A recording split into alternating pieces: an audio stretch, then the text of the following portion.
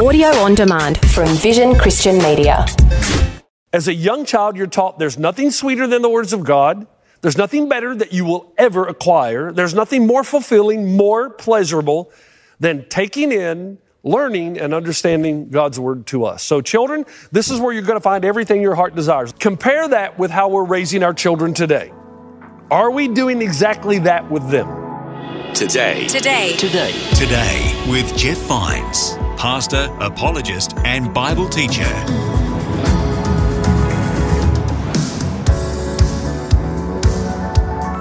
Hi, and welcome to Today with Jeff Vines. In this episode, we have another message from the series called Jesus Revolution. If you miss any, you can find all messages in this series on your podcast app. Here's Pastor Jeff to begin today's message.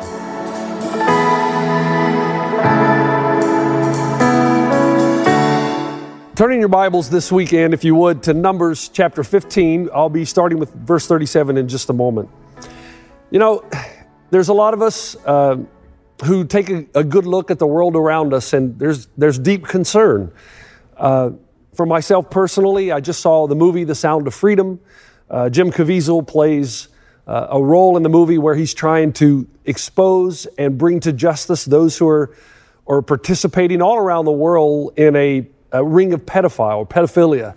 And you watch it and you know it's based on a true story. And the more you watch it, the more you ask the question are there really people this evil in the world? And is it really so rampant that there are people who would take young five, six, seven year old boys and girls and sell them into slavery? I mean, is that really possible? Someone could do that without a conscience or without guilt.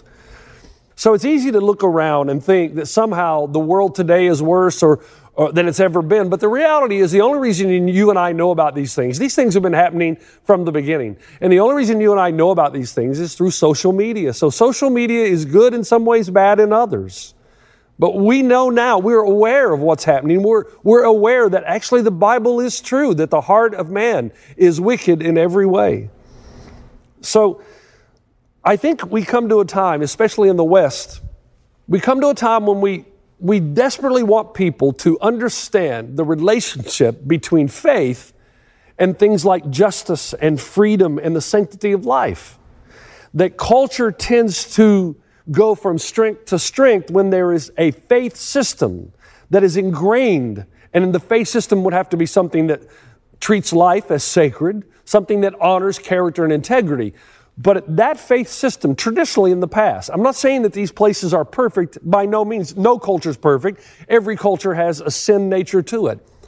But there is a sense in which there is, those cultures, those societies that tend to flourish, tend to be attached to a faith system that believes in the sanctity of life, that believes in the sacredness of marriage, that believes in justice and that injustice should be fought against and justice should be defended.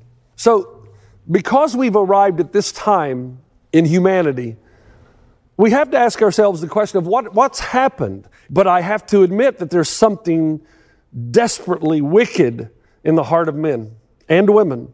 And I'm starting to ask what has been the change of the last 30, 40 years to get us to the place that we are now and as I've said before, my visit on university campuses, more and more I hear Christ followers on those campuses telling me that they're being taught to disdain any kind of religious system or faith system, especially Christianity. And in fact, as Christ followers, they're beginning to be persecuted. So the question is, what happened? And as I've stated in the past, it, it is necessary not to point the finger and look outward, but to always do some introspection on the inside. And I remember 20, 30 years ago hearing Christian parents make statements like this. They would say, you know what? I just don't believe I should force my faith upon my children. And I wanted to look at them honestly and say, you know what? Right now you're just being ignorant. Because make no mistake, this world system will force its beliefs and faith on your kids. So you're either going to teach them or somebody else is going to teach them. There's no neutral ground here. I've also heard people or young people say, you know, I wanted to become a Christ follower, but the faith that my parents mouthed was never really practiced. It was almost like faith and life became segmentable. This is what I do in my life, and this is what I do on the weekends in church. But what I believe doesn't necessarily match how I live. And the other thing that I noticed in the last century is that a lot of parents began, Christian parents began to take a cavalier approach to this thing called discipleship. So it's in that context that I want to read the text. It's again, I'm in Numbers 15, verse 37 says, The Lord said to Moses, Speak to the Israelites and say to them, Throughout the generations to come, you are to make tassels on the corners of your garments with a blue cord on each tassel. You will have these tassels to look at, and so you will remember all the commands of the Lord, that you may obey them and not prostitute yourselves by chasing after the lust of your own hearts and eyes. Then you will remember to obey all my commands and will be consecrated to your God. I am the Lord your God who brought you out of Egypt to be your God. I am the Lord your God. So, right in the text, right from the get go, we are given commands by the Lord to his people. These commands, the law to which he refers, is called the Torah, which is representative of the first five books of the Bible. Torah itself is better understood as a word that reflects instruction. And this is important because here's the thought. The first people of God believed that God loved them so much that he would give him his Torah, his instructions, so that they would know how to live, so that God would say, I created you, I know how you best operate, so I'm going to give you a roadmap to successful living, health, wealth, and vitality. And knowing that most people, by the way, were visual, and we talked about how the Old Testament culture was a visual culture, I have a prayer shawl. And God told them to make one of these. Now, this is, a, this is not as primitive as the early ones would have been, but it's kind of based after the same design. And He told them to take the prayer shawl, uh, take the kanav, the border. The kanav is basically the material, but more specifically, the kanav is the border. And he said, take the kanav, and he said, attach to them what is called, what are called tzitzis. It's an interesting word. And on the tzitzis, this extended extension out from the kanav, the border, there were five knots, and the five knots represented the five books of Moses, the law, or again, the instruction that God would give his people. It was his way of saying that I love you so much that if you live under the prayer shawl, which I'll demonstrate in a moment, if you live under this, then your life is going to be a life of health, wealth, and vitality. And so, and Jesus says in John chapter 10 that he came to bring life and life to the full. So God never wanted to be seen as the big bad cosmic boss, but as a father who loved his children. And he said, by possessing the prayer shawl, what we call the prayer shawl, anytime you felt that you were being tempted or dragged away from the law of God that is meant to save, not bind you, you're to take the prayer shawl and you're to put it over and you're to remember that you are covered in the precept and the law of God. And as long as you live under this covering, you'll be protected you will take hold of the abundant life. And actually, a wonderful tradition developed uh, concerning what we call the tzitzi, the borders, the kanav. Kanav actually meant, means, it's a word that means wings. And you can see why, right? So if you put this over, you can kind of see why wings. And the tradition began that God's wings, the kanav, were the places of shelter and refuge. So if you lived under the law, the precepts of God, then that you'd be protected from things like danger and fear and destruction, panic, anxiety, all of the things that are part and parcel to the human experience. If you take refuge under the wings of the kanav or the tzitzi, then you will be protected. And that's why in, uh, protected. In Malachi chapter 4 verse 2, we read these words, but for you who fear my name, the Sun of Righteousness shall rise with healing in its wings. You shall go out leaping like calves from the stall. So healing in the tzitzi, healing in the law of God, in the precepts of God. Again, God gives His law not to be the big bad cosmic boss, but to give you a way of protection. He knows best how life operates. He created you. He says, live under this law. Now that explains what happens in Matthew chapter 9, verse 20. We're told Jesus is going through the streets, I believe, of Capernaum, and just then a woman who had been subject to bleeding for 12 years, the scripture says, came up behind him and touched the edge of his cloak. She said to herself, If I touch his cloak, I will be healed. Now, as soon as she touches the cloak of Jesus, Jesus looks around, his disciples are standing there, and he says, Wait a minute, who touched me? And I'm sure the disciples in their mind would have thought, you know, it's a big crowd. Everybody's touching you. But Jesus knew someone had touched him in a unique way. He knew that somebody believed the text, that somebody believed he's Messiah, that he would have healing in his wings, the border of his garment, the tzitzi. She's trying to touch the border of the garment, Because she believes there's healing in Messiah's wings, which means she believes that he's Messiah. In verse 22, Jesus turned to her, saw her, Take heart, daughter, your faith has healed you. And the woman was healed at that moment. Now, does that mean there are, there's magic in the tzitzit? Is there magic in the corners of the kanav, in, the, in touching the tassels or the, the tzitzit of the garment of Christ? Well, no, of course not, because she's not healed until he, until he says you're healed. But that's exactly what he's, what he's done. He says, Woman, your faith has healed you. And at that moment, the Bible tells us she was healed. So it's not a magical thing, it's just the thing that there was the belief that when Messiah comes, he would have healing in his wings, which means there, his precepts to us, as difficult as they might be to accept, would bring healing into our lives. The other thing that developed, another really cool thing, in Matthew chapter 6, verse, verse 5 and 6, Jesus told the disciples that when you go into the temple, in order that you may not distract or be a distraction to others, enter into your closet. Now, we think that's kind of a place in the house. It's not, because when you covered yourself like this and you began to pray, that was called your closet. So Jesus says, don't go out on the streets like the Pharisees and Sadducees and broadcast your prayers, go into the temple, go into your private place, go into your closet so you're not distracting anybody else, and begin to pray. And those prayers that are uttered in silence or in private with God, those prayers will be heard and answered. Now, here's the question. All that's a lot of information, but the question then became since the Torah, since the law, since the tzitzit, there's healing in his wings, which means or stands for the precepts of God. The, the question came what age could you begin to teach a child the Torah? At what age could they begin to understand and observe the text? And of course, this was important to Hebrew parents because to the Hebrew parents, the words of Christ, or the words of God rather, were the words of life. So I want to get the words of life into the into the, the mind of my child as soon as possible. So the important question emerged what age? What age? So, parents, listen very closely. From the writings of Josephus, we have the, this quotation Above all, we pride ourselves on the education of our children. So let me go back and say again they understood that the words of God, if, it, if the words of God, the precepts of God, made their way deep into the heart and mind of a child, then they would flourish. However, and this is the key, if the words and the precepts of God did not make their way into the heart and mind of our children, then we were one generation away from being extinct.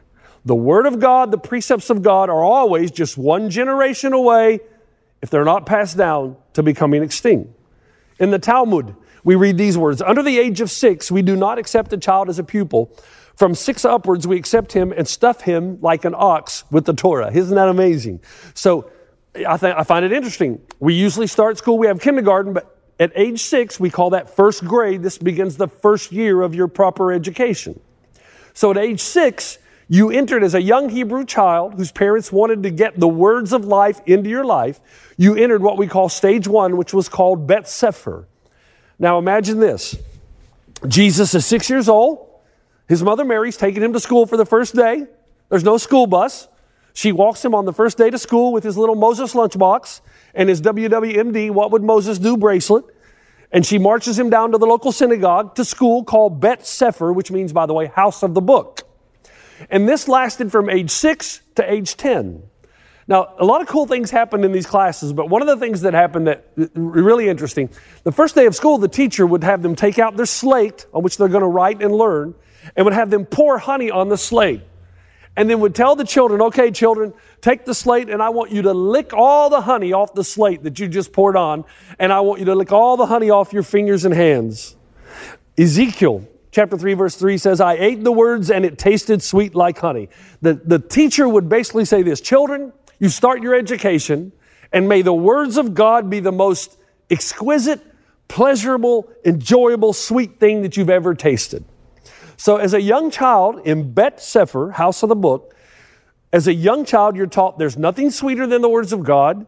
There's nothing better that you will ever acquire. There's nothing more fulfilling, more pleasurable than taking in learning and understanding God's word to us. So, children, this is where you're going to find everything your heart desires. Let me stop there just a moment. Compare that with how we're raising our children today.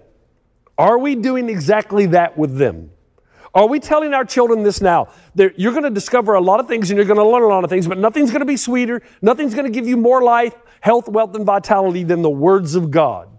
So from ages 6 to 10, the little Hebrew children would memorize the Torah. Genesis, Exodus, Leviticus, Numbers, Deuteronomy. Have you read those books? Especially Leviticus, Numbers, and Deuteronomy. They would memorize not just the names of the book, but the words found within the books. Now, a lot of people, when we start talking like this, will say, you know what, there's no way kids can handle that today. And I'm telling you, yes, they can. Yes, they can.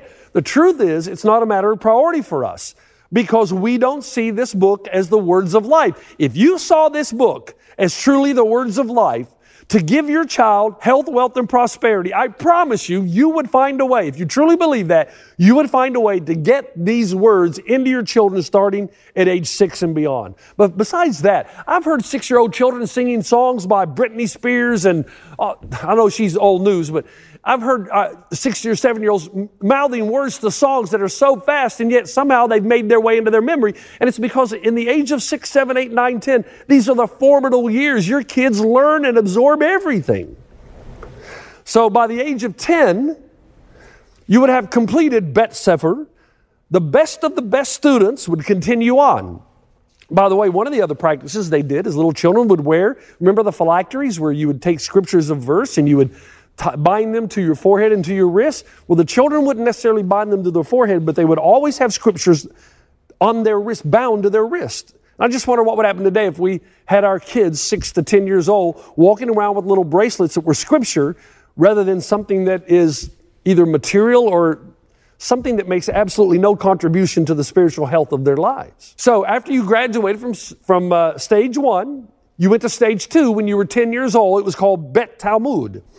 And in Bet Talmud, you would memorize the rest of the Hebrew scriptures, all the way to the Italian prophet Malachi, right? No, all the way to Malachi. So think about this. By the age of 14, you would have memorized the entire Hebrew text, all the Old Testament. Wow! Uh, when I went to seminary, I was in Cincinnati uh, Christian University, and right across the street, you could actually walk to a, a, over a bridge and arrive at Hebrew Union University. And the first time we took a tour, I wanted to go there because I wanted to see the Holocaust Museum, which was always quite, uh, which was also quite reputable. When we walked over, we saw in display this huge, big Hebrew Bible. I mean, it was amazing. And the guide explained to us how students, before they got into Hebrew Union Seminary, had to memorize the Hebrew Bible. That was one of your entrance fee, one of your entrance requirements. You got to be able to sit and memorize and recite the entire Old Testament. And the reason is, is because when they began their education in seminary, the class was designed to discuss the words and the meaning of the Old Testament. And I remembered listening to him talking about how they learned at Hebrew seminary and the difference the way we learned at Cincinnati Christian Seminary. So I had a professor by the name of Dr. Johnny Presley, great professor, but he would create tension in seminary, some kind of tension, and then he would give us the Bible answer explain it to us, and then when we had exams, he would restate the tension, give us a chance to answer and solve the tension based on the things that we had learned. So basically, if you're doing math, he would say, What is 2 plus 2? And we would say 4, right? But you would do it in essay form. In Bet Talmud, rabbinical teaching, their method's completely different. Because if you could answer a question with another question, it would show two things. It shows one, that you really understood the material or the question, and two, that you'd taken the information to the next level. For instance, if I'm being quizzed on something in the Old Testament and I'm in, uh, I, well, let's just say I'm in Bet Talmud or at Hebrew Union Seminary, if the question is what is 2 plus 2, I'm not going to say 4. I'm going to say what is 16 divided by 4, which is also 4. I'm going to answer a question with a question. And that means that I truly understand what's happening, at least in philosophical terms, in the text. That also explains Luke chapter 2, verse 46. After three days, they found him, that is Jesus, in the temple courts, sitting among the teachers, listening to them and asking them questions. Everyone who heard him was amazed at his understanding and his answers. So they asked Jesus a question, and he does so with another question, and the answers and the questions he's given them show them that he is very well versed in the Old Testament. Now, Jesus, how old was he when this happened? He was 12 years old. 12. And he was in what school? He was in Bet Talmud, question and answers. In fact, most Jewish girls by the age of 13 were not only betrothed, it doesn't mean they were married, it just means they were promised, engaged, but they were also by the age of 13 in Bet Talmud.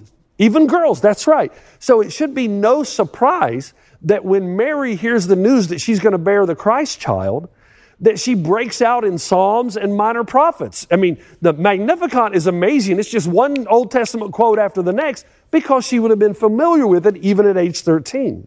Another important note, let's keep going here. Each rabbi in the day of Jesus, there were hundreds of rabbis, they would have a certain way of applying the text of the Old Testament. There would be considerable agreement on what the text meant, but the application would vary. In other words, here's what the text means, but how do I apply that into my everyday life? So one rabbi might come along and say, you know what, to keep the Sabbath means this, this, and that. But another rabbi might come along and say, well, yeah, it means this. I take your point, but I think it also means this, this, and that. So each rabbi would have his own particular set of particular set of rules and regulations uh, that were to be lived out if the Torah was the Old Testament, the, fi- the first five books of the law, were to be upheld in one's life. And that particular set of rules and regulations would be called his yoke. Now, that's Y O K E, not Y O L K. We're not talking about the, the middle of an egg, or Y O L K rather.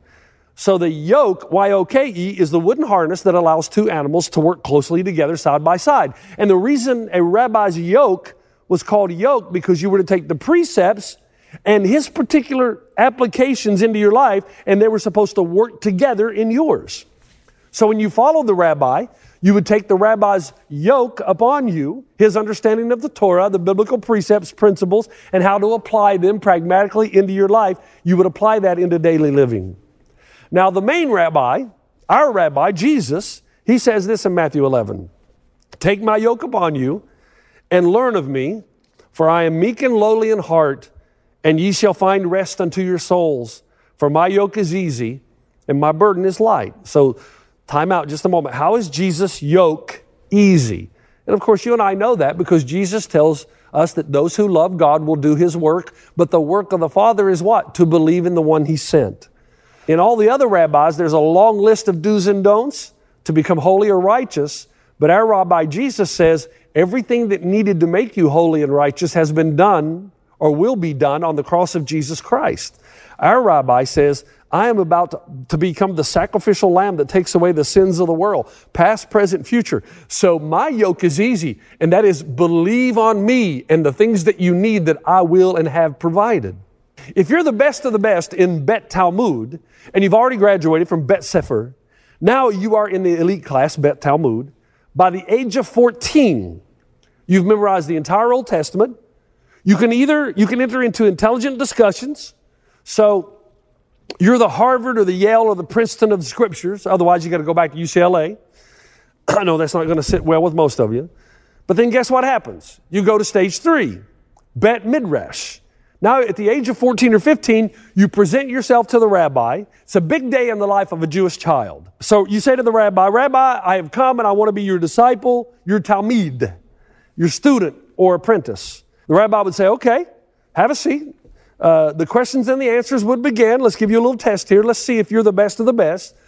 And it starts with the basics, like the rabbi might say something like, On what day of creation did the earth bring grass? And of course, you and I know that's day three, but you wouldn't say three. You would say, What is the number of days Jonah remained inside the great fish? You would answer the question with another question. So it goes on and on.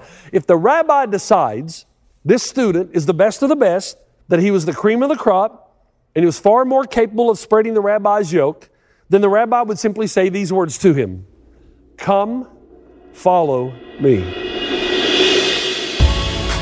You've been listening to Today with Jeff Vines. Thanks for joining us. Next time, we'll bring you the rest of this message from Pastor Jeff.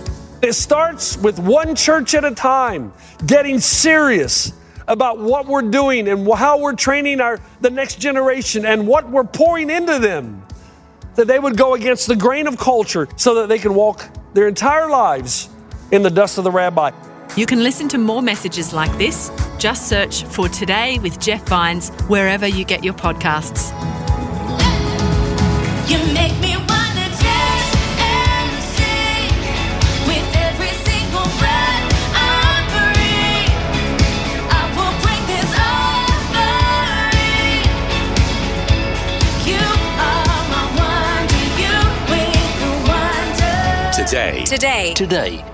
Today with Jeff Vines. Thanks for taking time to listen to this audio on demand from Vision Christian Media. To find out more about us, go to vision.org.au.